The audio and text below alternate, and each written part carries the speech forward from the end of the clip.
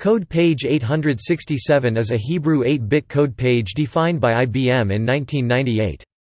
It is based on code page 862 but replaces several characters not used in Hebrew with non-printing characters for bidirectional text support, a euro sign and a shekel sign.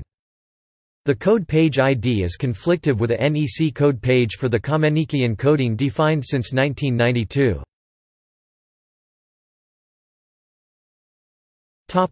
Character set. References